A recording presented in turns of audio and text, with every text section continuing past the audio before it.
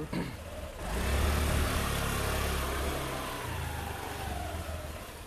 अरे क्या हुआ रे भाई? आप निकला देखो भाई ने ऐसी चाटी देते यार हो तुम। बोला। वालेकुम सलाम। वालेकुम सलाम ये तरीका है यारो ये। किसका भैया? फ़ोन देखे तुम कितने मिस कॉल आए अरे बड़े भाई नियाना है तो खुला मना कर देना। क्या ज़ोर ज़बरदस्ती है साइलेंट पे था जी फ़ोन। अरे हो यारो पंद्रह मिस कॉल आए यारो। पंद्रह रात में बात हो गई ना आज अपने को जाना है ज़ोर के बाद बोल के। फिर अरे यारो नहीं करना है यारो सुने। अपन बात पे कायम रहना यारो अपन रोज़े की हालत में है। आओ भैया नहीं देखा सो गया था फ़ोन साइलेंट पे था। क्या हुआ मसला क्या है? जाके ला लिए हम लोग कपड़े। अब तीनों एक जैसे सिलाएँगे अपन ईद के दिन। जाते आते बब्बू टेलर को नाप दे डालो कपड़े जाते हम ना दे डाल रहे उसको। रखो भैया तुम किसी और को दे दो कपड़े। मैं ईद नहीं मना रहा हूँ। कब रे भाई? कैसा है वो? हाँ? हाँ? नहीं हिम्मत रख भाई देख देख ये मौत अल्लाह के हाथ में है रे भाई। हाँ? अपन नहीं बोल सकते रे भाई कुछ भी। लेकिन बाप कितना भी बोल रहे भाई इनके सास है इन्हें तेज है तेज है बोलता था इन्हें। बदमाश है बोलता था। हाँ? बेचारों को रमज़ान का महीना मिला। आखिरी अशरा मिला ताख राता मिले।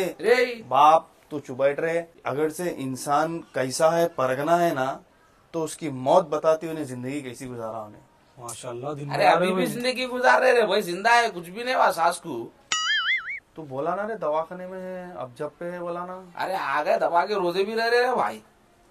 तो फिर दादी का हुआ क्या माँ? हाँ? अरे अल्लाह। शिट यार? अरे बाप मेरे को आज भी याद है बेचारे खिड़की में से हम लोग को देख के बुलाते थे अंदर आओ मियाँ तुम लोग अंदर आओ बोल के हम लोग खिड़की में से बुलाते थे। और कोई ईद ऐसी नहीं होंगी जो ईदी नहीं दी है। भाई वो जमाना बीस तीस रुपए का था वो बड़ी बात थी अपने को।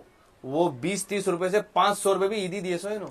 अरे क्या अरे हवला आ गया अरे हमारे दादी को उम्र के तीन साल हो रहा रे फिर वो कौन थे रे खिड़की में से हम लोग को पैसे देते थे सो अरे मेरे को क्या मालूम रे तू किसकी बात कर रहा की तो फिर क्या हुआ रे? कई को ईद नहीं मना तो हमारा। अच्छा रुको रुको भाई समझ गया मैं। भैया हम आपके दोस्त है।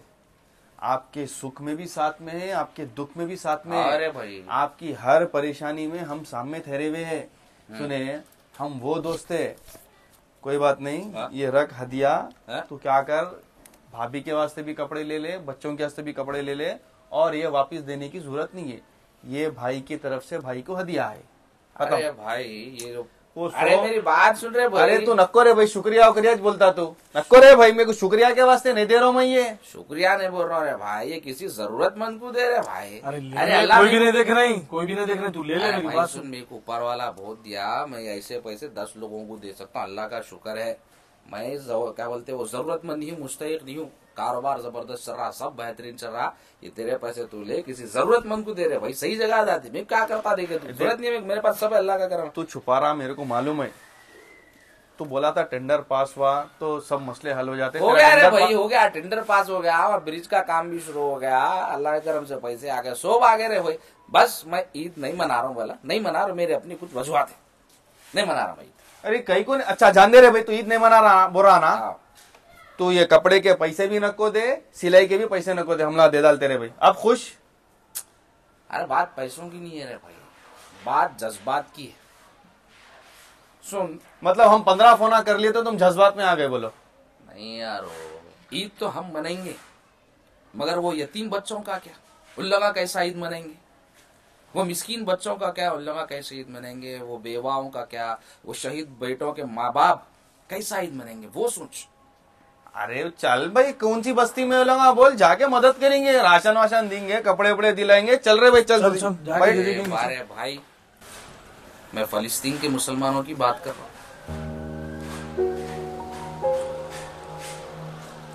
पूरी दुनिया ईद मनाएँगी सिवाय फलस्तीन की। सही बोला बाप तू। अगर मदद करना है ना तो लोगों की करो। वो हमारे मोमिन भाया है। जब उन्हों तकलीफ़ में है तो हम कैसा खुशी मना सकते ये बात तो सोचा भी नहीं था रे मैं। यहाँ पे हमारा दस्तरखाना सजे हुए है। सहरी का दस्तरखान सजा हुआ है। अल्लाह की हर वो नेमत वहाँ पे मौजूद है। इफ्तार में भी पूरे दस्तरखाना सजे हुए हैं। वहाँ पे भी अल्लाह ताला की हर वो नेमत मौजूद है। हम इफ्तार से लेके शहर तक हर वो चीज़ खा रहे जो अल्लाह ताला हमको दिया। मगर वहाँ पे हमारे मुसलमान भाई, एक वक्त के खाने के वास्ते तरस एक निवाला रोटी के वास्ते तरस वहाँ पे घास खा के रोजा खोल रहे लोग। तो हम यहाँ पे इतनी खुशी कैसा मना सकते हमारे अंदर, हमारे मुसलमान भाइयों का दर्द रहना, एहसास रहना। सोचा भी नहीं था रे भाई मैं ये एटलीस्ट कुछ नहीं कर सकते। तो उनके वास्ते दुआ करो। एहसास रखो उन चीज़ों का। क्योंकि वो भी हमारे मोमिन भाया है। अरे भाई हमला भी डिसाइड कर लिए रे भाई ईद हमला भी नहीं मना रही। चल बाबू अपन नमाज़ को जा रहे अपन दुआ कर लेते बैठेंगे। अच्छी बात है चलो। तो आँखा खोल दिया बाप हमारे